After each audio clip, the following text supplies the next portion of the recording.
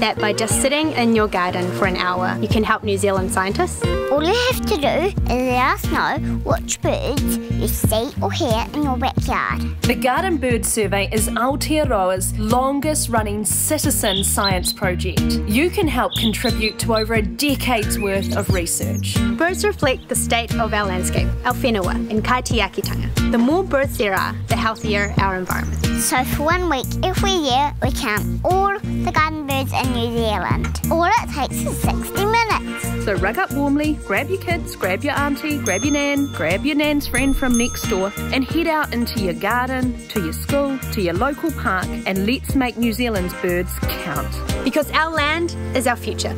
Tō tātou whenua moa popo.